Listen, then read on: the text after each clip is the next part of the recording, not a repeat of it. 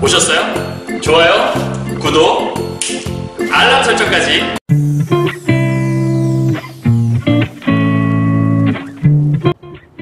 안녕하세요. 경화여고 2학년 학생 여러분 그리고 전국에서 문학을 공부하신 학생 여러분 만나서 반갑습니다. 선생님은 세계 최강 국어쌤 조임수 선생님입니다.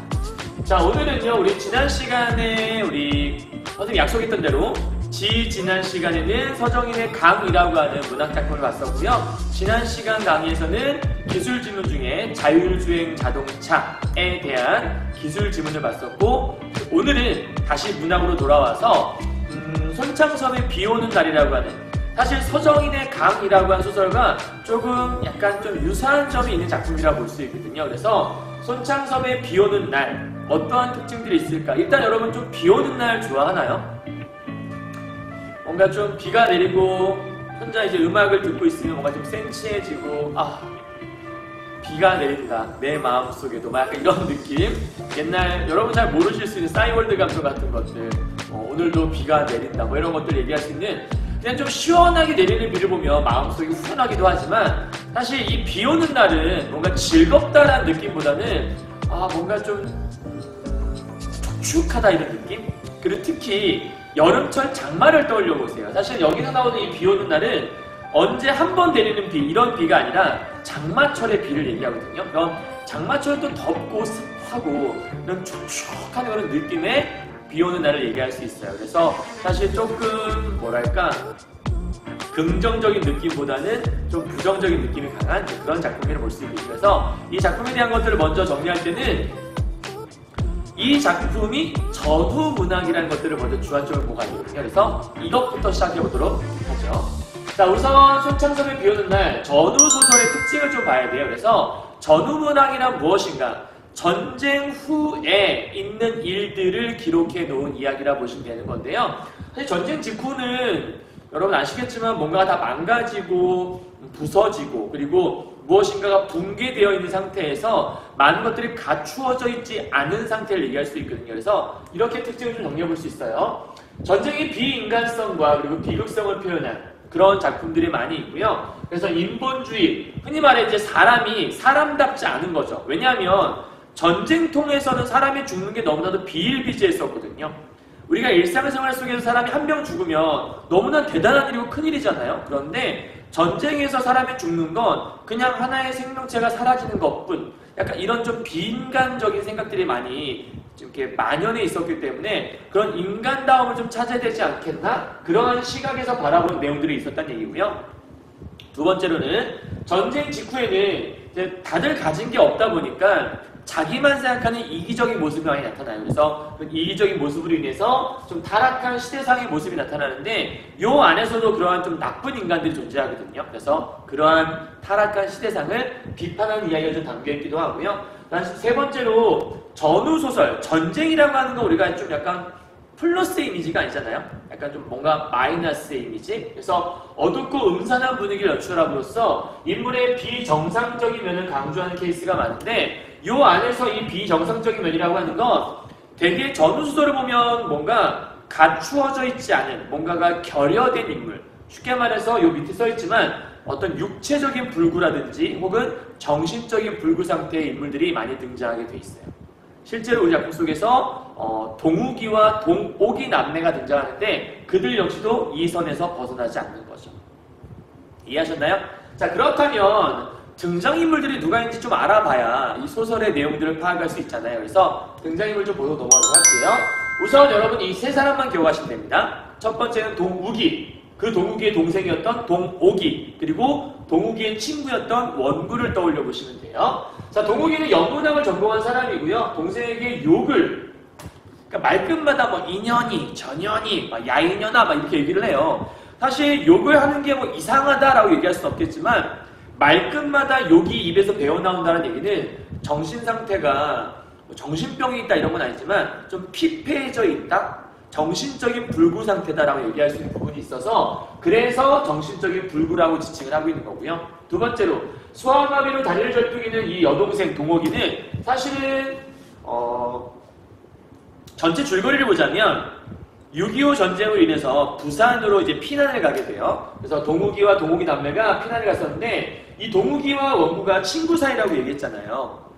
우연히 만나게 된 거예요. 그리고 얘기를 나누다가 뭐 원구가 너 요즘 뭐 하는데? 그랬더니 나 알다시피 난 영문학과 나왔잖아. 나 영어 좀 하잖아. 음, 그 영어를 바탕으로 미군 부대에 뭐 초상화 같은 걸 납품해서 돈 벌고 있어. 너 그림 그릴 줄 모르잖아. 네, 여동생이 좀 그려. 약간 이런 느낌이에요. 그래서 여동생이었던 이 동욱이가 사실은 초상화를 열심히 그려요. 그림 솜씨가 제법 괜찮았었나 봐요. 그래서 이 동욱이가 그린 이 초상화를 동욱이가 미군 부대에 미군 부대에 납품하는 일을 하고 있던 거예요. 그러니까 힘을 합쳐서 이 남매가 살아가고 있던 건데 사실상 동욱이가 없으면 이 집의 어떤 살림 자체가 좀 영위되지 않을 수밖에 없겠죠. 그리고 동욱이가 없다면 몸이 불편했던 이 동욱이 여동생이 혼자 살아가기도 힘들었겠죠. 자 그리고 이 원구랑 인물은 여기 있는 동욱 남매를 관찰하는 존재로 나오는데 굉장히 무기력한 인물로 나와요. 쉽게 말해서 어, 따뜻한 마음씨를 갖고 있어요. 그래서 이들을 바라볼 때 이 동욱 남매를 좀 이렇게 연민의 시선으로 바라보기도 하고 따뜻한 시선으로 바라보는데 이들의 현실을 바꿀 수 있는 힘은 없어요. 그냥 쉽게 말해서 전쟁의 피해자와 같은 인물이거든요. 그래서 전쟁으로 인한 전쟁의 피해자 그냥 연약한 인물, 무기력한 인물이라고 보시면 되는데 이 원구의 역할은 동남매를 관찰하는 존재로서 전지적 작가가 앞에 내세우는 인물이라고 볼 수 있고요. 그래서 관찰과 연민의 마음을 갖고 있다는 것을 잘 기억해 주시면 될 것 같아요. 되셨나요? 자, 전체 내용을 보시면 방금 얘기했지만 이 둘이 만나게 돼요. 그래서 이 원구가 뭘 하냐면 리어카를 끌고 다니면서 온갖 잡화, 신발을 비롯한 많은 것들을 팔고 다녀요. 그런데 비가 오는 날이면 사실 리어카를 끌고 다닐 수 없잖아요. 비가 온다라는 건 이 원구에게 있어 생계수단이 잠시 막히는 날이라 보시면 돼요. 그럼 할 일이 없어지니까 어디 가냐면 여기는 동욱이 남매 집에 놀러 가는 거예요. 가서 만났는데 사실 뭐 어렸을 때 좀 봤겠죠. 그런데 어렸을 때 봤던 여동생이라면 나 친구 여동생이라면 자기를 반길 법도 한데 여기는 동욱이는 원구를 바라볼 때 굉장히 차가운 시선으로 바라보게 돼요.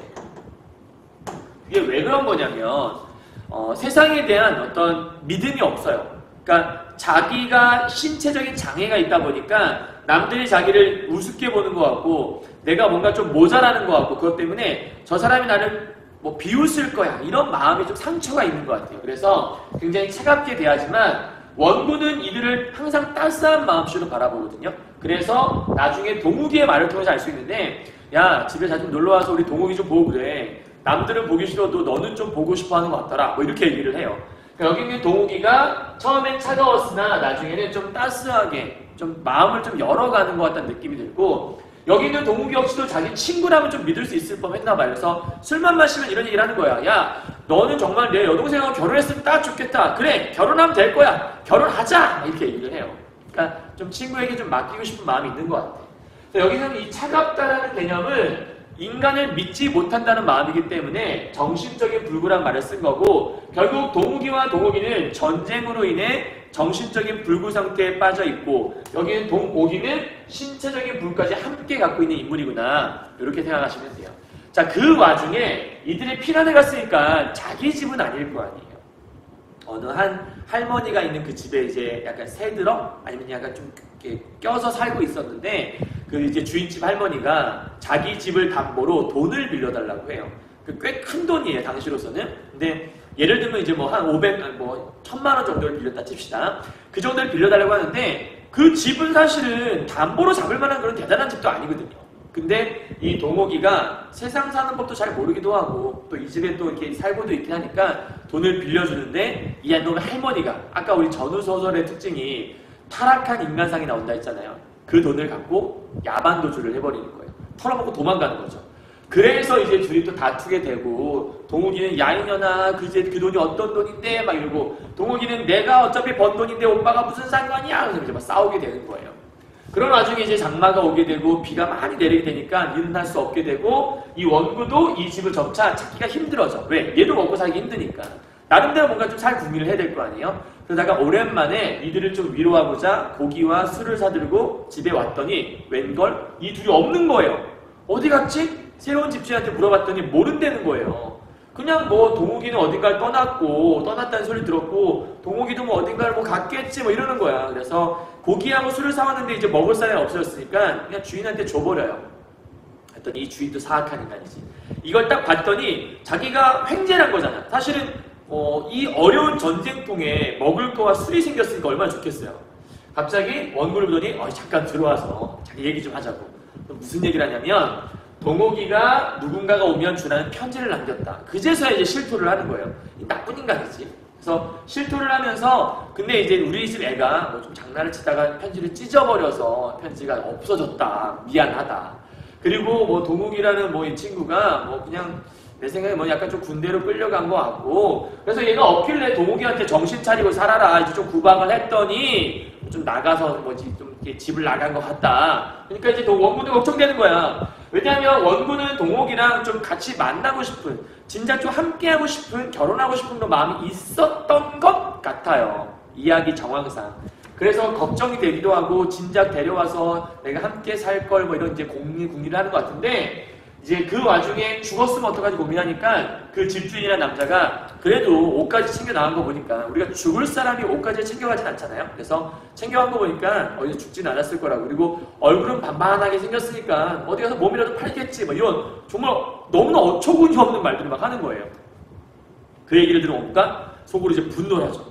야 이 자식아 네가 팔아넘겼지! 라고 이제 얘기를 하고 싶은 거야. 왜냐하면 짐작이 그렇게 되니까. 근데 차마 입 밖을 꺼내지 못하는 무기력한 인물. 그리고 마지막에 한 번 더 야 이놈아 네가 팔아넘겼구나 라고 하는데 그 말인즉슨 주인에게 하는 말이 아니라 스스로에 대한 자책감으로 끝나게 되는 그런 이야기라고 보시면 되겠습니다. 이해하셨나요? 전체 등장인물을 가지고서 전체 맥락에 대한 걸 설명했으니까 이 내용 기억하신 상태에서 잠시 본문 보시면 될 것 같아요. 자, 세 번째는요. 이 제목에 비 오는 날이라고 되어 있잖아요. 그 비 오는 날이라는 이 작품의 제목에 갖는 의미를 좀 우리가 살펴봐야 될 것 같아요. 잠시만요.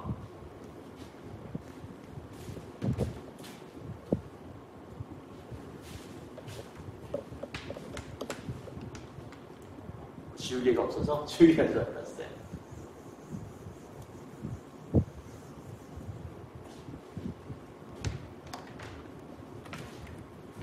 자, 제목의 의미를 한번 살펴보도록 하죠. 일단 비 오는 날의 의미는 총 네 가지 정도로 우리가 집어 생각해 볼 수 있을 것 같은데 하나씩 볼까요? 첫 번째는 원구와 동욱의 만남을 가능케 하는 거. 왜죠? 비 오는 날은 일을 할 수 없으니까 당연히 원구가 동욱이에게 놀러 오게 되는 거니까 만남을 가능케 하는 소재가 될 수 있겠고요. 두 번째, 작품 전체에 약간 좀 비가 오는 날은 음산한 분위기, 좀 우- 우울한 분위기, 암울한 분위기를 형성하게 돼요. 자, 이것은 단순하게 그냥 그런 분위기가 난다 그런 게 아니라 전후의 상황에 대한 얘기라서 전후의 암담한 현실을 이 분위기를 통해서 상징적으로 보여주고 있다고 볼 수 있겠고요. 세 번째는 등장인물들의 어떤 무기력함. 왜? 비가 오면 아무것도 할 수 없이 집에만 그냥 가만히 있게 되거든요. 그러한 무기력함이나 우울감, 절망감 등을 드러내게 되고 이러한 심리를 갖고 있는 인물의 피폐한 내면 세계. 자, 질문할 건 이러한 심리를 갖게 되는 가장 큰 이유는 결과적으로 전쟁 때문에 그렇겠죠. 그런 마음들이 안에 녹아있다는 거예요. 다음 네 번째로 원구가 죄의식을 갖게 되는 게 있어요. 맨 마지막에 나오긴 하지만 결국은 비 오는 날을 통해서 내가 왜 진작 이 힘든 상황 속에서 걔를 구제하지 못했을까라는 생각을 하게끔 만드는 게 바로 이 비 오는 날의 배경이 되거든요. 그래서 죄의식과 죄책감을 가지고 있다는 것도 하나 함께 알아두시면 좋을 것 같습니다. 되셨나요, 여기까지? 자, 이제 마지막으로 작품 속 배경이 갖는 의미가 있을 거예요. 요 안에 이제 우리가 흔히 배경이라고 하면 뭐 시간적 배경, 공간적 배경 이런 말들 할 수 있잖아요. 이렇게 살펴보도록 하죠. 자, 시간적인 배경에서는 장마철, 여러분 굉장히 중요한 소재예요. 요 부분은 시험에서 많이 물어볼 수 있으니까 체크해 두셔야 돼요. 단순하게 그냥 비가 하루 내리고 끝이 아니라 장마라고 하는 건 오래도록 내리는 비잖아요. 그래서 어둡고 우울한 분위기가 끝나지 않고 계속해서 이어지는 그래서 무기력함과 허무함과 절망감을 드러낼 수밖에 없는 왜? 이 분위기가 끊어지지 않으니까 장마는 줄기차게 이어지는 거니까요. 다음 두 번째로 공간적 배경으로 사실 이제 부산 지역에 어, 이 당시에 부산 지역이 낙후된 지역이었다고 해요. 뭐 전쟁통이니까 그랬겠죠. 이 낡은 목조 건물이라고 나오는데 본문 속에 이 건물이 어떻게 나오냐면 무너져 간다라는 표현이 나와요. 그러니까 이 목조 건물의 정확한 워딩은 무너져 가는 낡은 목조 건물이 배경으로 등장을 하거든요. 이 집에 이 동욱이 남매가 살았고요. 자, 무너져 가는 이 건물은 뭘 보여주냐면 결국은 남매가 몰락하는 삶 이거를 대표적으로 보여주는 거예요. 왜냐하면 사기당한 직후부터 완벽하게 몰락하기 시작하거든요. 그리고 이들의 모습만 얘기하는 것이 아니라 당시를 살아가던 전후 빈민들의 참혹했던 삶을 저러한 건물로 그러니까 언제 무너질지 모르고 반드시 무너질 수밖에 없는 그러한 사람들의 삶을 보여주고 있구나. 그래서 좀 이렇게 시, 이 작품을 보다 보면 읽으면 좀 마음이 아파요. 이 작품 같은 경우에는 마음이 아프기도 하고 아 진짜 전쟁이란 너무 무서운 거구나라는 생각을 하게 되는 그런 작품인 것 같습니다. 되셨죠? 자 그럼 이제 선생님이 공부하는 시간이니까 이 손창섭의 비 오는 날을 통해서 반드시 알고 넘어가면 좋을 만한 우리가 이제 핵심 키워드라고 하죠. 선생님이 늘 포인트를 잡아드리고 있잖아요. 네 가지를 한번 이렇게 잡아봤습니다. 갑시다.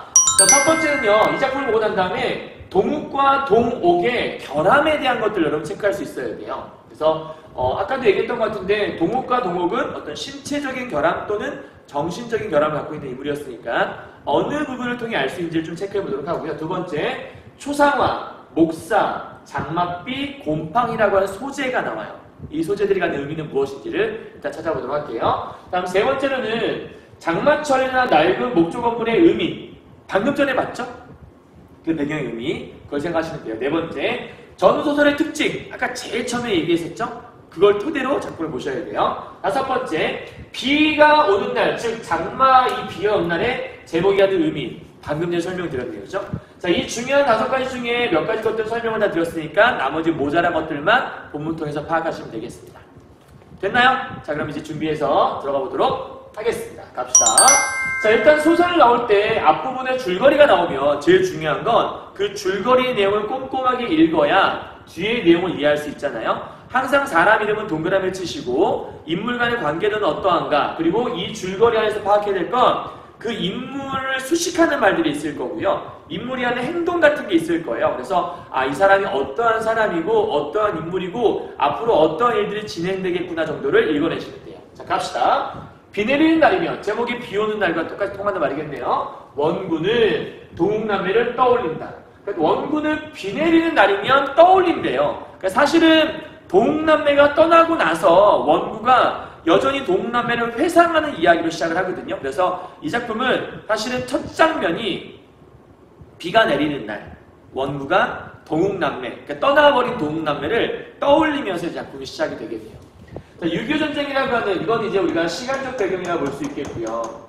부산의 거리라고 하는 건 아까 얘기했지만 공간적 배경이 될 수 있겠죠. 이 상황 속에서 원군은 친구 동욱을 만났는데 그는 그럼 그가 누구죠? 그는 당연히 동욱을 얘기하겠죠. 여동생 동옥과 함께 살면서 동욱이 그린 초상화를 미군 부대에 팔아 생계를 유지하고 있었대요. 집이 굉장히 가난했었다 이걸 알 수 있고요. 장마가 계속되던 어느 날 원군은 외진 곳의 낡은 목조 건물 아까 얘기했죠? 이 부분이 보여주는 건 이들의 가난했던 삶을 보여주고 있다라고 설명했어요. 사는 동욱 남매를 찾아가지만 다리를 심하게 저는 이게 아까 얘기했던 그 신체적인 신체적인 결함 불구라고 볼 수 있고요. 이 동욱이 자신을 냉담하게 돼요. 왜? 사람에 대한 불신이 가득했으니까. 그럼 남을 믿지 못하는 불신에 대한 얘기니까 이 부분은 정신적인 불구를 얘기하는 건데요. 전쟁으로 인해 음, 남들이 남들이 나에게 주는 호의를 쉽게 받아들이지 못하는 거예요. 자 그리고 이것을 느낀다. 그뒤 원군은 종종 동욱의 집에 드나들면서 동욱과, 동욱과도 점차 친해지게 되는 거죠. 그러니까 점점 동욱이도 마음을 여는 찰나에 그 사기를 당하는 바람에 안타까운 일이 일어나게 되는 거예요.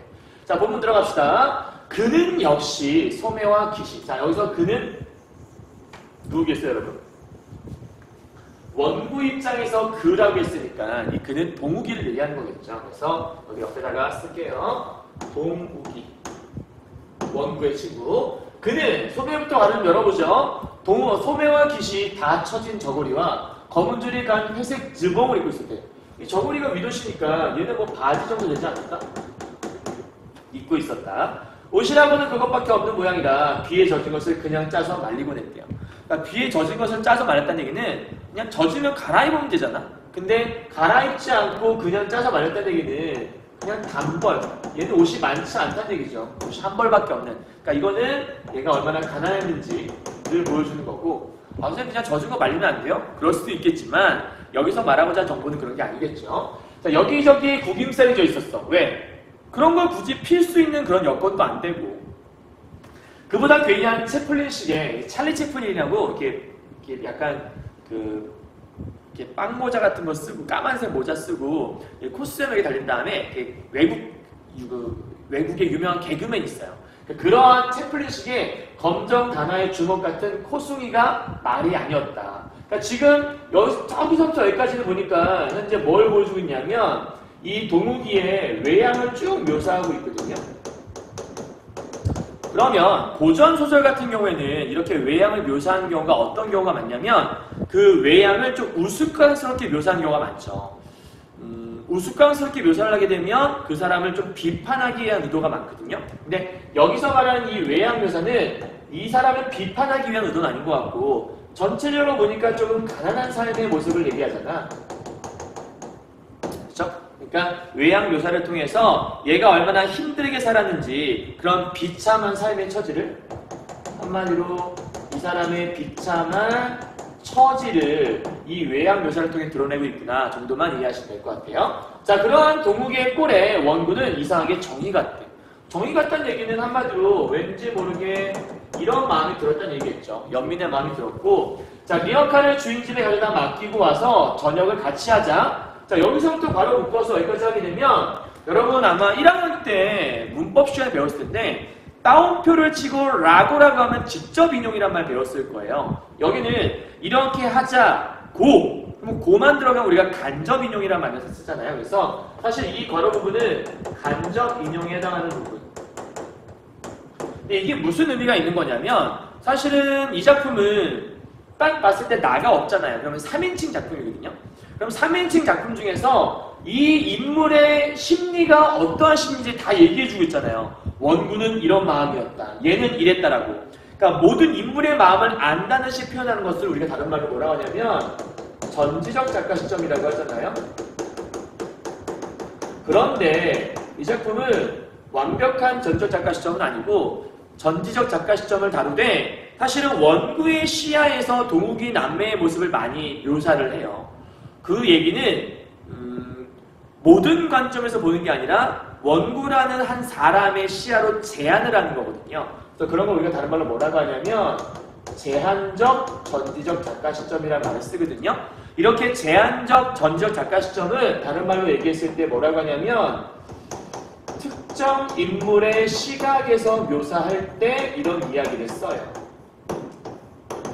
실제로 모의고사나 어떤 문제집 같은 걸 봤을 때 특정 인물의 시각에서란 말로 많이 바꿔서 출제하는 케이스가 많으니까 알아두시면 좋을 것 같고요. 자, 원군은 동욱의 손을 끌었다. 동욱은 밥보다도 술 생각이 더 간절하다. 라는 말을 또 가져온 거죠. 얘 역시도 인용이라고 볼 수 있어요. 그럼 이렇게 간접 인용을 하는 이유가 뭐냐면 자꾸 자꾸 간접 인용을 하잖아요. 그러면 실제로 내가 이거를 경험한 게 아니라 그렇게 들었어 라는 거잖아. 그러니까 뭔가를 들었다는 얘기는 즉 대화를 간접으로 처리한다는 얘기는 이 안에 직접적인 서술을 하지 않아요. 그럼 직접적인 서술을 하면 내가 경험한 거니까 현재 이 앞에 진짜 벌어진 이야기고 현장감이 느껴지는 건데 마치 내 일이 아닌 것처럼 일종의 거리 두기를 한 표현이라고 볼 수 있거든요. 그냥 어디서 들었어? 내 이야기 아니야? 뭐 이런 식으로. 그래서 거리를 둔다라는 건 한마디로 얘기해서 이들에 대한 냉소적인 태도를 작가가 이 원구를 통해, 그러니까 원구가, 원구가 냉소적 인물이다 이런 뜻이 아니라 작가가 원구를 통해 거리를 두고 있다는 얘기잖아. 그러니까 자기가 직접 개입해서 불쌍해 불쌍해라고 보는 게 아니라 그냥 자기랑 관계 없는 일인 것처럼 거리를 두고 냉소적인 태도로 이들을 바라보고 있다. 이런 효과를 줄 수 있다는 거니까 알아두시면 좋을 것 같고요. 보통 우리가 술 생각이 간절하게 나는 경우는 어떤 경우를 얘기하냐면 뭔가 막 괴로울 때, 그죠? 그러니까 이 부분은 현실의 괴로움 때문에 아 오늘은 정말 술이 땡기네 이런 얘기를 했던 것 같아요. 자, 두 가지 다 먹을 수 있는 집으로 그럼 가보자. 뭐 밥과 술을 다 먹을 수 있는 집을 선택하면 더 좋은 거니까. 자, 술이 몇 잔 들어가. 넘어가죠. 얼큰해지자. 동욱은 그동안 초상화를 먹고 살았다고 얘기했잖아. 근데 초상화 주문을 폐업했다라고 얘기해요. 이게 무슨 얘기지? 그동안 초상화를 잘 먹고 살았는데 갑자기 폐업을 했다고 하는 거 보니까 이제 먹고 살 일이 이제 답답해진 상황이라고 볼 수 있는 거잖아. 그러면 초상화라고 하는 이게 얘가 중요한 건데 이 초상화라는 이 단어가 가진 의미는 이들을 먹고 살게 해주었던 생계 수단으로 볼 수 있는 거잖아요. 그죠? 근데 그 생계 수단이 폐업이 된 거예요. 이제 정말 큰일이 난 거죠. 생계 수단 자체가 없어졌다고 볼 수 있는 건데 그러면 왜 그렇게 됐는가? 요즘은 양키들도 번호를 붙여볼게요. 양키들도 아주 약아져서 까딱하면 돈을 잘 읽어놔. 양키들은 미군을 얘기하는 거겠죠? 이 미군들이 초상화 그려달라고 해놓고 돈을 떼먹는 거예요. 이 나쁜 인간들이죠, 그죠? 그러니까 이때 당시에는 전쟁의 아까 비인간적인 모습도 얘기했지만 약간 타락한 모습이 나온다고 얘기했었으니까 결국은 미군들이 초상화 값을 주지 않는 초상화 값을 지불해주지 않는 모습이 있었던 거예요.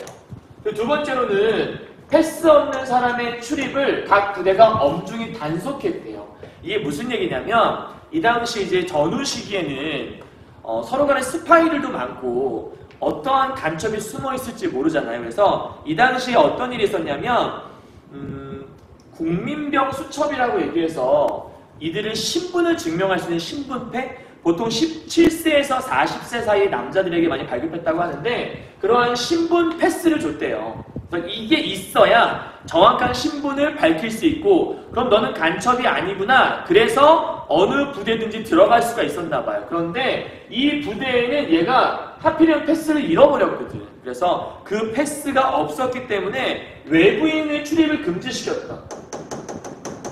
외부인 출입을 금지시켰던 이 부대의 보안상의 문제로 인해 얘가 드나들 수 없게 된 거야. 그러니까 초상화를 갖다 줄 수 없게 된 거겠죠? 그리고 나서 밑에 보니까 돈 받으러 몰래 들어갔다가 순찰 장벽에 걸려서 하룻밤 멍키하우스 신.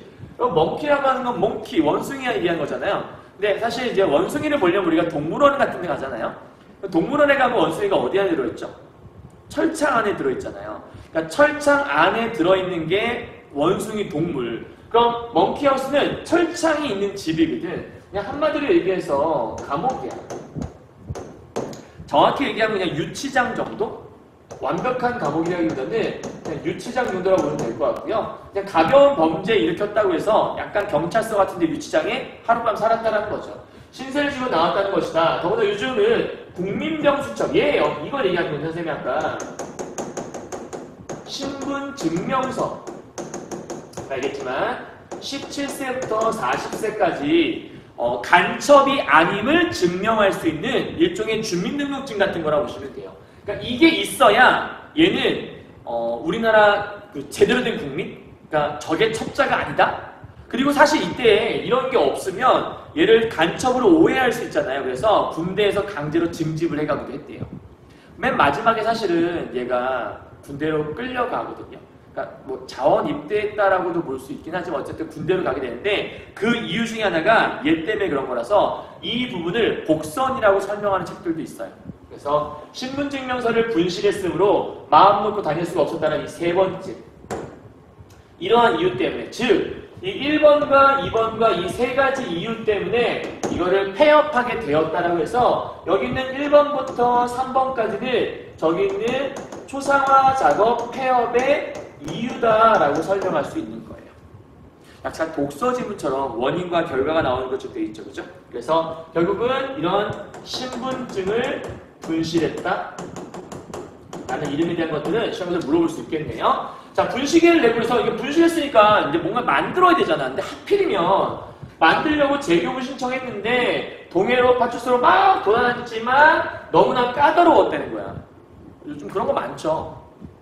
이거 만들러 왔는데요. 그랬더니 아 그거는 이 부서가 아니라 저쪽 부서 가보셔야 돼요. 갔더니 아 그거는 저기 가셔야 되는데요. 그러니까 뭔가 절차가 되게 복잡한 거야. 그러니까 밑에 보서 에이 잘 들어주지도 않나 보다. 그러니까 정말 엎친 데 덮친 격이 된 거죠. 뭔가 만들려고 했는데 또 안 만들어주는 거니까. 그래서 뭐 설상가상이다 이런 상황도 쓸 수 있긴 하겠지만 어쨌든 나중에는 삼수갑산의 갈망정, 삼수갑산은 보통 우리가 죽는 걸 얘기하기 때문에 에이 차라리 그냥 죽어버릴 테야 라고 얘기하는 이 부분은 사자성어로 자포자기의 심정이 있구나 정도 이해할 수 있겠다.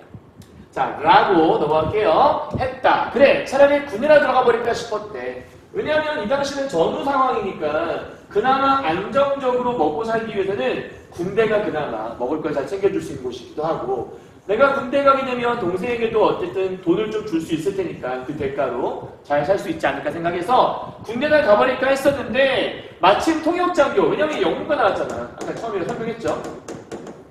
영문과 나왔으니까 통역장교 모집한다기에 가보려고 했었대요. 그런데 원서를 타러 갔었는데 그럼 이 원서라는 것들은 나름대로의 뭔가 좀 살기 위한 당도? 그러니까 이거는 뭔가 살기 위한 나름대로의 시도를 타러 나왔던 기리노라고 했대. 그래서 원서 좀 보자, 야. 나 궁금하다. 그랬더니 닝글닝글 웃으면서 아 근데 수속이 하도 복잡해갖고 에이 그것도 그냥 단념하고 말았어 라고 하는 또 한 번 자포자기의 심정을 얘기하네. 그러니까 뭔가 좀 이렇게 힘이 넘친다기보다는 계속해서 무기력한 태도들이 좀 계속 보이죠.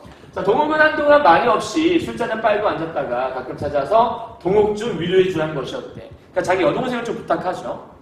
세상 사람들이 모두 자기를 조소하고 멸시한다고만 생각을 했대요. 그러니까 지금 이거는 동옥이 갖고 있는 정신적인 장애에 대한 얘기를 하는 거잖아. 그럼 이런 정신적인 장애가 왜 생겼나 봤더니 결국은 남들이 나를 이상하게 본다는 피해의식이 있는 거고요. 그죠? 그리고 일종의 좀 대인 기피 이런 것도 있겠고 나가려고 하지 않는 폐쇄적인 이런 심리들이 총 아울러져서 이러한 정신적인 장애가 있다고 볼 수 있겠는데 그나마 이 동욱이가 아무것도 하지 않고 그냥 방에만 박혀서 뭐 할까? 그림만 그리겠지. 그랬던 앤데 모든 사람에게 반감을 품고 있어. 마찬가지야. 아까 얘기했던 그 불신, 정신적인 불구 상태 이해하셔야 돼요. 정불, 정신적인 불구 상태. 그런데 동옥도 원구 너만은 자기를 업신여기지 않고 자연스레 대해준다고 생각을 했대. 그러니까 결국은 이 동옥이가 동옥이 원구에게 마음을 연 거지. 아마도 이 동욱이의 말을 통해서 어쩌면 동욱이가 이 원구에 대해서 조금 마음을 뭐 연정의 마음 뭐 이런 걸 품고 있는 건 아닐까라고 살짝 생각해 볼 수 있겠죠? 그 오빠 괜찮은 것 같아. 날 이상한 눈 쳐다보지 않아. 뭐 이렇게 얘기를 했었겠죠. 자, 그래서 자주 찾아와 주기를 여간 기다리지 않는다고 했대. 그러니까 기다린다는 얘기죠 한마디로. 여간 기다리지 않는다더라. 쉽게 말하면 야, 너 내 동생 찾아봐. 왜? 아, 걔가 딴 애들은 뭐 안 보고 싶어 하고 딴 사람들은 아무도 안 만나려고 하는데 그래도 맨날 네 얘기한다. 네가 뭐 자기를 것, 업신 여기는 것 같지 않다던가? 너만은 뭐 좀 진실한 사람인 것 같대. 그러니까 좀 자주 찾아와서 네 여동생 좀 보고 그래. 뭐 이렇게 얘기했던 거야. 뭐 좀 자기 여동생을 맡기려는 그런 모습이 있지 않나? 자, 밑에 보니까 초상화가 팔리지 않게 됐어. 그러니까 이제 동욱이가 좀 불안해지는 거예요. 그냥 먹고 살 일이 없어지는 거니까. 그래서 초조와 불안 속에서 마찬가지로 계속해서 정신적인 장애가 벌어지고 있는 거죠. 정신병은 아니야, 얘들아. 오해하면 안 된다. 알았죠? 자, 한층 더 자신의 고독을 주체하지 못해 쩔쩔맨다는 것이었대. 그러니까 왜 찾아와 보라고 하는 거냐면 그동안은 초상화 그리면서 그나마 조금 삶의 위안을 찾았는데 이제는 초상화 작업을 더 이상 팔아, 팔아 넘길 수가 없는 상황이 됐잖아. 그러니까 음, 얘가 점점 더 상태가 안 좋아지는 거예요. 그래서 너라도 좀 찾아와서 좀 지켜봐 줘라라고 얘기하는 것 같아. 자, 동욱은 그러한 동욱이가 동욱이가 치근에 못 견디겠대. 쉽게 말하면 연민의 마음이 있는 거죠. 근데 이제 여러분 그걸 아셔야 돼. 이 정리를 할게요. 동욱이는 동오기에 대해서 어떤 마음이냐라고 물어본다면 연민의 마음을 갖고 있는 건 맞아. 이거는 책임감에서 오는 마음인 것 같아. 그런데 이런 모습만 있는 것이 아니라 뒤쪽에 가게 되면 막 폭력을 행사하기도 해. 그러니까 어찌 보면 음, 자기가 이렇게 살 수밖에 없었다는 것 때문에 일종의 좀 약간 얘에 대해서 이 동욱 역시도 피해의식이 있었던 것 같아. 야 그런 대사가 나오거든. 니까지 게 나 없으면 살 수 있을 것 같아? 어? 네가 뭐라고 마치 소리를 막 질러. 그러니까 내가 너 때문에 많은 부담감을 갖고 산다라는 그런 마음도 있는 것 같아서 사실은 동욱이의 노후에 대해서 좀 이중적인 태도를 지니고 있다고 볼 수 있어요. 그러니까 이 동욱이를 평가할 때 자기의 동생을 완전히 아끼는 마음으로 물심양면으로 동욱이 생각만 한다. 이러면 잘못된 평가라고 볼 수 있다는 거지. 이해했죠? 자, 그래서 언젠가처럼 그러니까 이 부분만 보고 한 면만 보고 판단하면 안 돼요. 내가 자네랑 동욱이랑 결혼할 테야. 이게 뭔 얘기냐면 자네랑 이게 내가 자네라면 조건이야. 내가 너라면 동욱이랑 결혼할 거야. 아, 하고 말고 응 하지. 내가 너라면 내 동생이랑 결혼할 거야. 그 얘기는 결혼했으면 좋겠다. 결혼해. 결혼해. 뭐 이런 건데 둘이서 얘기하는 거니까. 자, 술집을 나와서 동욱은 이번에도 원구에서는 꼭 지고 자기는 결코 목사가 되겠다고 했거든. 사실 이 목사라는 건 동욱이의 꿈이야. 동욱이가 원래 되고 싶었던 건 목사가 되고 싶었대. 근데 그 꿈을 동생 때문에 혹은 이 전쟁 상황 때문에 접고 있는 상태인 거지.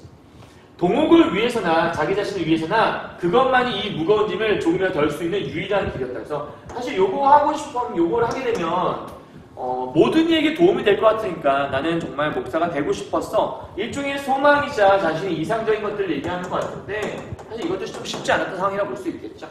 자 넘어갑시다. 그 뒤에 어 그럼 그 뒤에니까 지금에서 좀 시간이 경과한 뒤겠죠? 이런 그러니까 말들 통해서 알 수 있는 건 오, 시간이 흘렀구나. 시간의 경과라는 말을 쓸 수 있을 것 같아요. 자, 한 번은 딴 볼일로 하나의 사건이 끝나고 이제 다른 사건이 등장하는 거예요. 딴 볼일로 동네까지 부산 동네 지역을 얘기하는 거야. 갔던 길에 동욱이네 집에 들를 일이 있었대. 근데 그날도 얘들아 그날도야.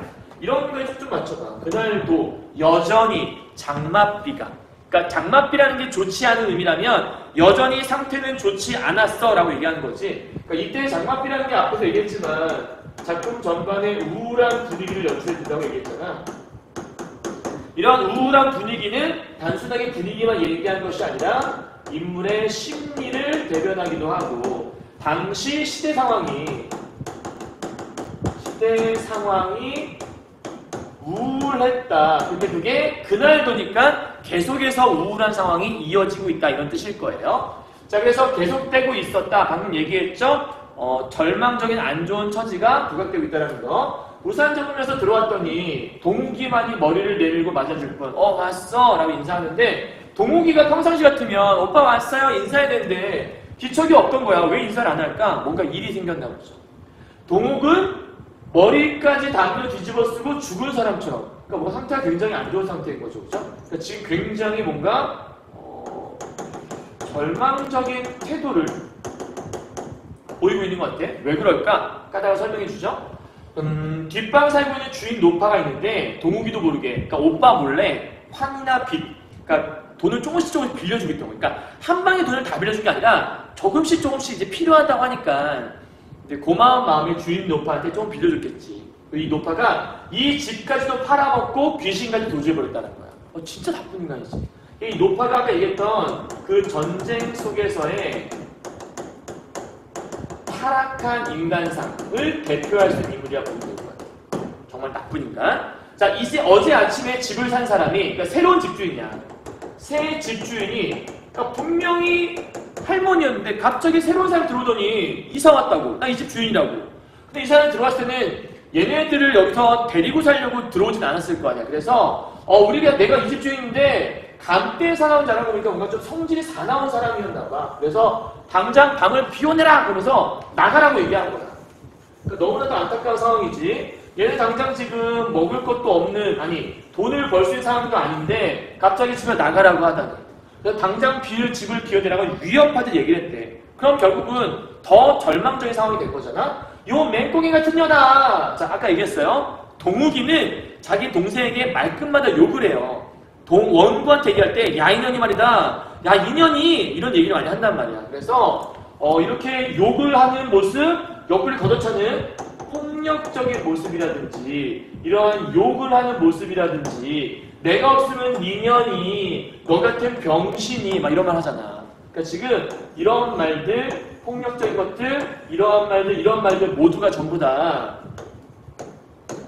동욱이가 갖고 있는 동욱이의 정신적인 불구 상태를 대표할 수 있는 말이라고 보시면 될 것 같아요. 이해했어요? 그러니까 분노한 건 이해하는데 자기 동생에게 그 화를 주체하지 못하는 거지.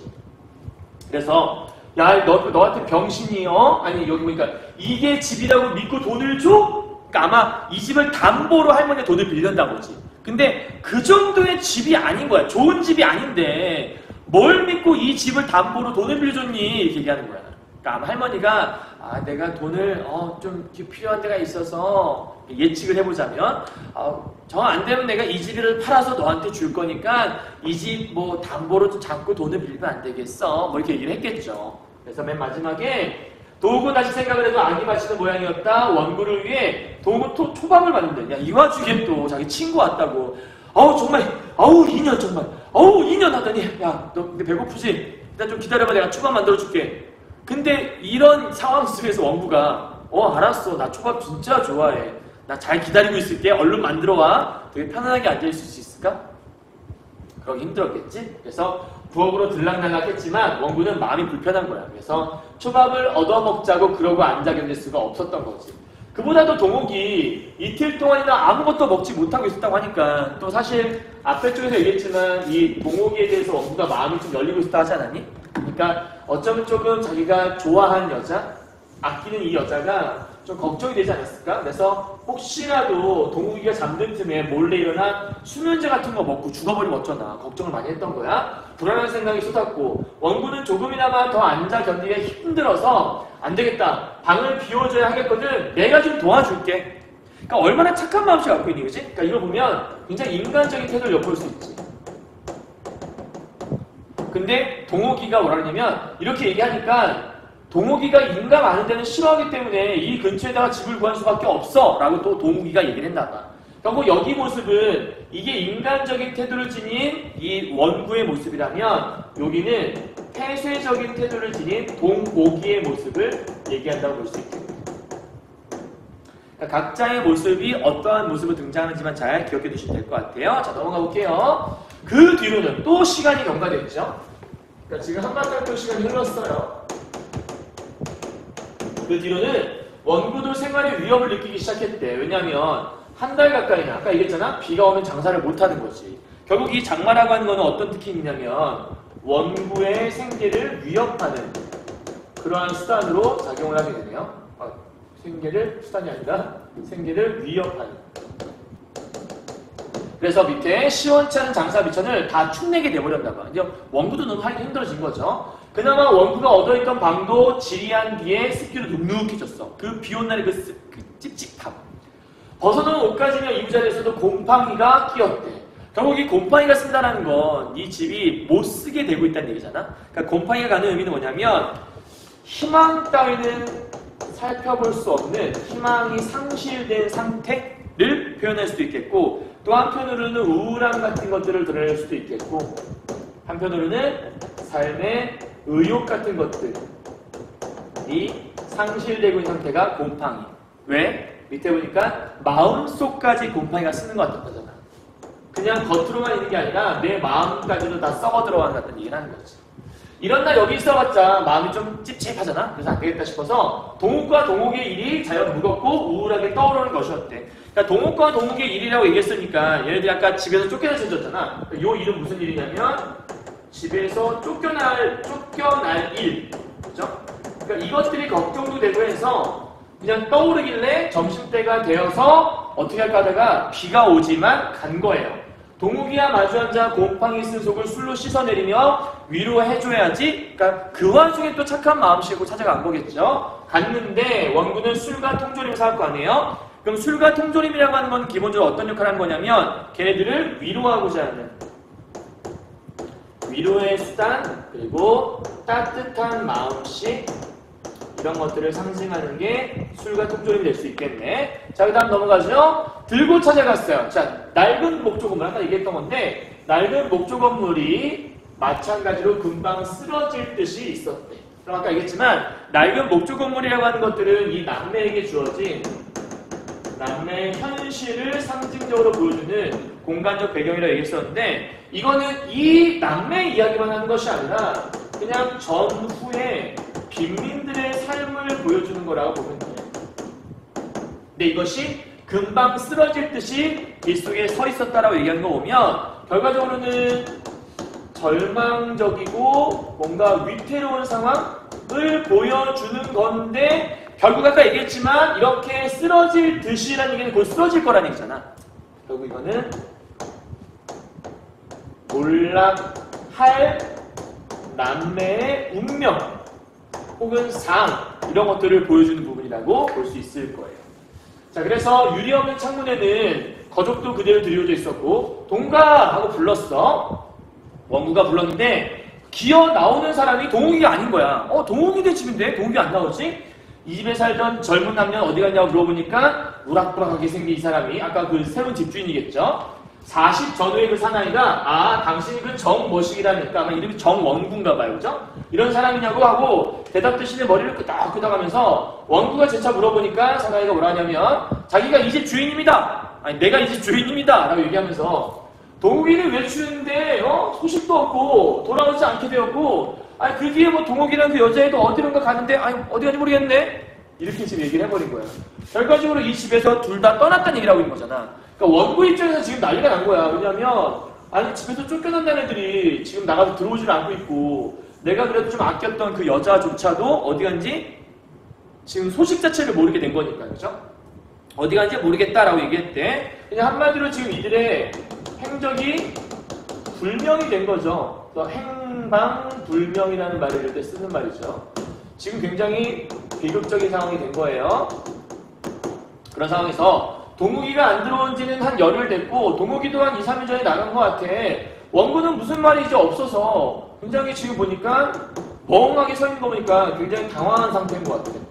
왜냐하면 친구가 혹은 그 동욱이가 사라질 거라고 상, 뭐 생각을 못 했겠죠. 현재 이 모습을 사자성어로 표현하자면 망연자실한 상태 정도로 얘기할 수 있을 것 같고요. 원군은 그대로 발길을 돌려 몇 걸음 걸어 나가다가 되돌아와서 물건을 끌러 왜? 자기한테 이제 필요가 없잖아. 그래서 그 술과 이런 것들을 줘버려 사나이한테. 그냥 드시오. 먹으려고 왔던 거니까 주어. 그랬더니 아 이거 원, 아 이거 원, 입이 해발쬐하게 보여서. 그러니까 좀 전까지 관심도 없더니 먹을 게 생기니까 좋아하잖아. 이걸 통해서 이 사람의 속물적 근성, 물질만 보면 좋아하는 그런 모습이 보이죠. 그래서 자기 옆에 있는 아이들이 장사 나왔기 때문에 일단 점심 한 그릇 대접할 수 있으니까 함께 먹고 가시오! 하면서 불러. 근데 뭐라고 하냐면 아 저기 네 다시 좀 고백 이제 고백하는 건데 죄송하게 되었어. 어? 동욱이가 정 누구라고 하는 분이 오시면 음, 좀 전해달라고 편지를 좀 줬는데 그 여자 동욱이가 정 머시기한테 주라고 편지를 줬다라는 거야. 근데 그만 간수를 잘못해서 아이들이 찢어 그러니까 애들은 잘 모르니까 이게 뭐야 막 찢으면서 막 놀고 그랬나 보지. 그러니까 사실은 이 편지 안에는 동욱이가 떠나면서 나름대로 뭔가 마음을 표현하지 않았을까? 예측해 보자면 뭐 사실 오빠밖에 없었어요. 나를 따뜻하게 대해준 사람은 오빠 나 어디 갔다 올 거니까 뭐 찾지 말아요. 아니면 오빠 기다려줘요. 뭐 이런 얘기가 써 있지 않았을까? 그러니까 동욱이의 소식이 적혀 있을 만한 그런 편지라고 볼수 있을 것 같은데 그러니까 이 편지에는 아마도 아마도 원구에 대한 동욱이의 어떤 마음이 담겨 있지 않을까라고 추리해 볼 수 있지. 정확한 내용이 여기 안 써 있으니까 정확한 내용은 알 수가 없으니까. 자, 그래서 멍청이 서 있으니까 동욱은 아마 10중 8구 군대에 끌려 나갔을 거라고 얘가 얘기를 해. 무한한 글. 그러니까 이렇게 한 이유는 아까 왜 그런 거냐면 앞에서 얘기했죠. 신분증을 분실했잖아. 이거 못 만들었다고 얘기했잖아. 이게 없으면 강제 증집이 되기로 한다라고 설명드렸었죠. 그래서 군대에 가지 않았을까라고 얘기하는 거고 그래서 동욱이가 맨날 엄마 부르면서 울고 그러니까 이 주인 아저씨가 또 이제 짜증 났겠죠. 그래갖고 막 면박을 줬더니 나가버렸다는 거야. 그러니까 죽지는 않았을까? 누구 생각이야? 원구 생각이겠지. 걱정이 되는 거야. 죽지 않았을까? 아, 자살하거나 굶어 죽었으면 어떡하지? 이런 온갖 걱정을 하게 되는 거지. 자, 그렇게 걱정을 딱 하니까 이 남자 하는 말 봐봐. 음, 중얼중얼. 그러니까 지금 어, 그 얘기 딱 듣자마자 엄마가 어, 죽진 않았을까? 괜찮을까? 어디 가서 죽었으면 어떡하지? 혼잣말로 막 걱정 걱정하니까 이 집주인이 뭐라고 하냐면 아예 중요한 옷, 옷까지 좀 챙겨 나갔대. 그러니까 중요한 옷까지라고 하는 것들은 결국은 자살하는 사람이 챙겨 나가진 않잖아. 그렇지? 그러니까 저거는 얘가 죽으려고 나간 건 아니다라고 해서 집주인이 이 동욱이지 원구의 생각이 잘못되었음을 좀 알려주려고 일부러 쓴 소재라고 볼 수 있을 것 같아요. 그러니까 쟤는 어떤 소재를 사용했냐 얘기하면 원구를 안심시키기 위한 원구를 안심시키기 위한 수단으로 사용된 것이 바로 5까지라고 볼수 있겠죠. 근데 이제 얘가 이런 말을 한다? 아니, 자살할 의사는 없을 것 같은데, 아니, 뭐 얼굴이 뭐 구멍덩이 약간 방대하게 생겼으니까, 어디 가서 몸을 판들 뭐 굶어 죽게 하겠냐? 이런 얘기를 해. 근데 뜬금없이 갑자기 왜 이런 얘기를 할까? 이 부분에 대해서 이제 선생님들도 많은 논의들이 있는데, 그냥 정확한 건 아니지만 그냥 짐작을 하는 거야. 이 주인 남자가 동욱이한테 너 이제 먹고 살 일도 이제 답답한데 나가서 몸이라도 팔든가. 약간 이런 식으로 뭔가 조금 얘한테 얘기를 하지 않았을까. 혹은 얘가 뭘 팔아넘기지 않았을까 동욱이를. 돈인 돈 되는 곳에. 왜냐하면 몸이 불편하니까. 왜 요즘에 그런 사건 사고 많잖아. 이게 장애인들을 좀 이거 어디다 팔아넘기고 돈을 챙기는. 이 당시가 이런 비정한 사회였기 때문에 그러지 않았을까라고 짐작하는 이야기도 있어. 근데 그게 확실한 건 아니라 그렇게 얘기한 이유가 아마 그런 게 아닐까 싶은 건데 어쨌든 문학이라는 건 이제 해석을 뭐 여러 가지 해보는 거니까 그 얼굴이 그만큼 반반 어, 쭉 넘어가서 밑에 내려갈게요. 어, 굶어 죽기 하겠냐는 말에 이상하게 원고는 정신이 벌쩍 들었대. 왜냐하면 내가 그래도 너무나 아꼈던 그 여잔데 이런 얘기를 하니까 화가 날 수밖에 없지 않겠니? 이놈! 네가 동국을 팔아먹었구나! 하고 대들듯이 원래는 달려들어야 되잖아. 근데 그게 아니라 달려들 듯한 덕분을 마음 한 구석에 의식하면서도 천근의 무게로 내리는 그러니까 이 얘기를 못해. 왜? 얘는 무기력한 인간 얘기했잖아. 천근의 무게 자기를 내려누른다는 느낌을 받게 돼. 마지막 부분이야 이제. 듯한 육체의 중량을 감당할 수 없어 그는 말없이 발길을 돌렸다. 여기서 알 수 있는 건 굉장히 무기력한 원구의 모습을 볼 수가 있는 얘기지. 그리고 사실은 이놈하고 혼냈지만 내가 왜 진작 얘를 아내로 삼지 못했을까? 쉽게 말하면 진작 아내 삼아서 동옥이 지켜주지 못한 거에 대한 일종의 죄책감을 표현하고 있는 부분이라고 볼 수 있는 거고 사실 이 부분은 그래서 내 이놈이라고 했지만 결과적으로는 자신에 대한 자책에 대한 부분이다 이렇게 생각할 수 있고요. 그래서 요 안에 담겨 있는 건 어떤 체념적인 것, 소극적인 자세, 그리고 절망스러운 자세 이런 것들이 싹 다 녹아 있다고 볼 수 있는 거죠. 이놈, 네가 동을 팔아먹었구나 라고 하는 이놈 할 때 네가라고 하는 거 있잖아. 그 네가가 여기서 너라고 하는 대상은 그래서 이 집주인을 얘기하는 것이 아니라 어쩌면 원구 자신을 얘기하는 부분이겠구나라고 생각할 수 있다는 거죠. 지금 그녀를 지켜주지 못한 그런 마음들 얘기하는 거예요. 흥분한 소리가 이제 그러한 어떤 심리들을 어떻게 표현하냐면 소리라고 했으니까 청각적인 심상과 오한을 느끼게 하니까 촉각적인 심상. 이건 문제집 같은 데 나오기도 하더라고. 어떤 감각적인 표현을 통해 어떤 원구의 절망적인 심리를 드러내고 있다. 뭐 이런 것들 통해서 얘기하고 있는 거고 결국 이게 왜 나를 향한 거라고 얘기할 수 있냐면 이런 부분들 이런 거지. 먼 곳에서 자기를 향해 날아온 듯한 뭐야? 어디선가 뿅 소리 나서 네가 그랬구나 나 나 나 이게 된 거야. 그러니까 누군가가 나에게 막 질책하는 듯한 느낌을 받게 되는 거지. 결국 맨 마지막에 느꼈던 건 내가 모든 걸 잘못했다라고 얘기하는 여기 써 있지 죄책감과 자책 이 두 가지 심리가 이 안에 다 녹아 있구나라고 볼 수 있는 거예요. 이해하셨어요? 여기까지요? 됐나요? 자, 좀 마지막까지 전반적으로 약간 조금 힘 빠지는 이야기가 많이 들어있죠. 너무나 안타까운 거죠. 그래서 사실 이 이야기는 맨 마지막에 어떻게 끝나냐면 이렇게 그냥 끝나요. 그래서 여기다 좀 적어줄게요. 결말이 이런 식으로 제대로 나지 않고 결말의 부재로 끝나버리게 돼. 그럼 이렇게 결말이 부재가 난다는 거는 우리가 흔히 말하는 예로 열린 결말 같은 걸 얘기하는 거고 정확하게 문제 해결을 안 하고 끝나버리는 거잖아. 결국 이거는 결말의 부재를 통해서 뭘 보여주고 싶었던 거냐면 음, 아무것도 끝나지 않는다. 이런 마음들. 그리고 아무것도 끝나지 않아요. 다시 말해서 암울한 삶이 계속해서 지속이 되어요. 이런 얘기하는 거고 이걸 통해서 표현하고 싶었던 건 결국은 비극성이 강화되고 있는 이런 모습. 그래서 어떤 절망 이런 것들이 심화되고 있다라고 표현할 수 있을 거예요. 되셨나요? 여기까지? 다 정리했죠?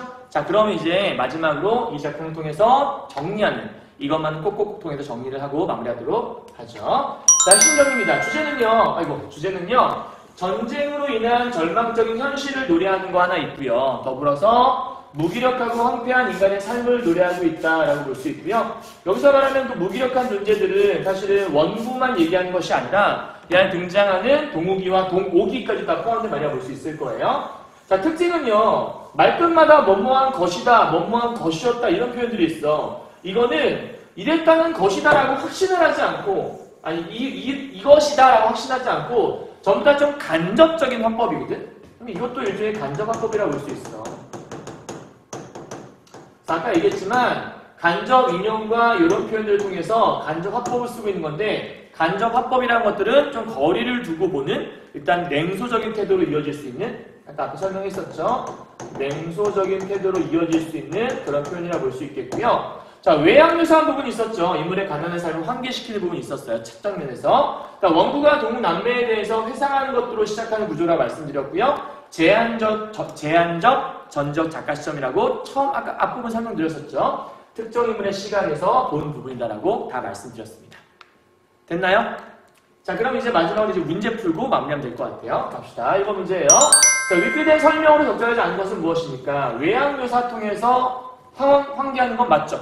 그죠? 두 번째, 서술자의 설명을 특정 인물의 심리에서, 이게 아까 얘기했던 그거죠. 원구의, 시- 원구를 중심으로 해서. 세 번째, 간접 인용의 방식을 통해 인물의 발화를 열거하고 있다. 간접 인용이 되게 많이 있어요. 그 다음 네 번째, 시간의 경과를 나타내는 걸 통해서, 우리 아까 그 다, 아까 뭐라 했죠? 그 뒤에, 그 뒤로는 이런 거 있었죠? 다섯 번째, 어, 애자식 구성은 아니죠, 이게. 그죠? 답은 쉽게 5번이 나오네요. 2번 문제요. 자, 기억이 뭐냐면, 선생님 미리 좀 써봤어요. 원서, 곰팡이, 술, 통조림, 편지, 이런 것들이거든? 자, 원서는 아까 뭐 취업이나 해볼까 이런 거 얘기했잖아. 그래서 보니까 난관 타개하는 나름대로 노력. 근데 결국은 안 썼잖아. 무력감. 맞는 말이죠? 다음 두 번째, 곰팡이. 원군의 집의 곰팡이죠. 우울한 분위기 맞죠? 동남매를 만나러 가는 이유. 여기에 있느니 그냥 걔네나 만나러 갈까? 이런 얘기 했으니까 맞죠? 3번, 원구가 동남매 위로하려고 구입한 거 맞죠? 근데 오히려 원구가 위로를 받게 되었어요. 안 만났는데? 그죠? 위로를 받지 못했죠? 답은 3번이라고 볼 수 있겠네요. 4번과 5번 읽어보시면 돼요. 자, 마지막 3번 문제예요. 어, 손창섭에 대한 설명 나와 있는 건데, 결국은 이 모든 것들이 이러한 심리를 갖게 되고, 이렇게 행동하게 된 가장 큰 원인은 뭐냐? 바로 전쟁 때문에 그런 거죠. 전쟁으로 인해 훼손된 삶의 모습을 그려내고자 했던 사람이 손창섭. 그래서 1950년대 6.25 전쟁이니까 이때 혼란과 절망을 드러냈었고, 극도의 물질적인 궁핍, 가난했다는 얘기예요. 인간관계에서 오는 배신감, 그 주인 할머니 얘기하는 거겠죠? 인간에 대한 모면을 느끼고 스스로를 유폐시켜요. 동옥이가 자기 방 안에 갇혀 사는 모습을 얘기하는 것 같아요. 타인의 처지에 연민을 느끼는 건 원구의 모습이겠고요. 교감을 하는 것도 원구겠고요. 근데 자신의 한계를 실감하거나 자학하는 것도 원구겠고요. 전망이 현재 사회상에서 허무주의, 결국 아무것도 변하지 못하겠구나. 그런 마음을 담고 있는 거네요. 됐죠? 자, 적절하지 않은 거예요. 1번부터. 빈민들이 감내해야 했던 극도의 물적 궁핍은 맞죠? 2번. 인간에 대한 모멸과 스스로 유폐한 거 여기 다 써있는 말이죠? 맞죠? 3번이요. 인간관계에 배신당한 거 왜? 돈 빌려준 주인 높아야 되는 이야기니까 절망하는 거 맞죠? 4번이요. 빈민들이 전쟁으로 인해 처하게 된 훼손된 삶의 처지를 낡은 목조 건물 쓰러져가고 있었으니까 맞죠? 5번이요. 원구가 사나의 말을 듣고 아무 말도 하지 멈춰 서 있는 거는 위선적인 행동을 더 이상 지속할 수 없다. 원구는 위선적이지 않아요. 진심으로 그들을 아끼고 따뜻한 마음 보였거든요. 답은 5번이라고 볼 수 있을 거예요. 됐나요? 자, 오늘 수업 끝! 다 했습니다. 자, 고생했고요. 오늘 선생님과 함께 이제 손창섭의 비 오는 날 봤는데 사실은 손창섭의 비 오는 날 작품이 지난번에 봤던 서정인의 강하고 공통점이 있어요. 서정인의 강 같은 경우에도 음, 그 안에서 가난을 위해 열심히 노력하는 김씨라는 존재가 있었는데 그 김씨의 삶이 아무리 노력을 하더라도 결국 어렸을 때 천재가 열등생이 되고 실패자가 되는 과정을 거치더라. 가난을 변할 수가 없더라. 절망적인 심리를 노래했잖아요. 인생에 대한 걸 그대로 노래한 거죠.